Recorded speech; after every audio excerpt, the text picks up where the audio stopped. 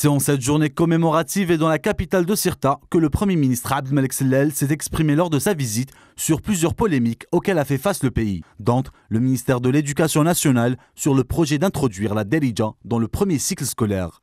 Désormais, Noria Benrabret peut compter sur le soutien du Premier ministre qui réagit aussitôt et fermement sur la question. On prendra en considération les suggestions qui peuvent mener vers un nouvel élan dans l'éducation.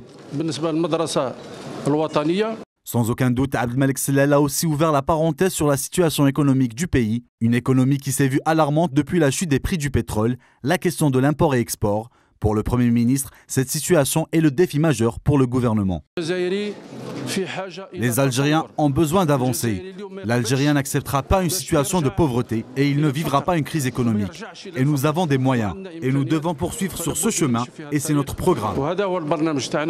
En marge de sa visite, le Premier ministre a annoncé qu'une réunion de gouvernement Wali se tiendra le 29 août prochain afin de procéder à de nouvelles opportunités pour le développement de l'économie nationale et l'ouverture sur l'investissement. Une réunion qui se déroulera avant la tenue de la rencontre des partenaires sociaux et économiques le 15 octobre prochain à Biskra.